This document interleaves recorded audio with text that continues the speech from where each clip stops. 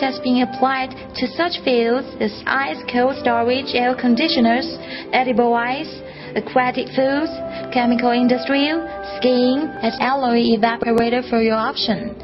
Plate Ice evaporator adopts direct expansion system and use R22 at the evaporative temperature over minus 15 centigrade.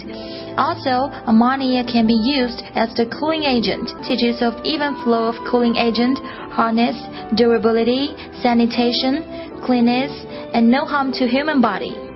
It fully conforms to HACCP and FDA certification requirement and can be applied to the fields of edible ice. If a number of evaporators connected in parallel, the daily ice making capacity can range from 500 kilograms to 600 tons.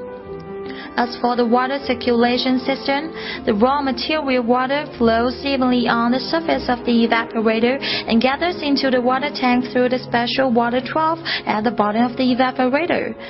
Then the water is pumped to the water distribution opening in the pulp of the evaporator and returns to the surface of the evaporator to freeze without introducing hot gas from outside taking the advantage of hot freon gas produced by the plate ice machine itself.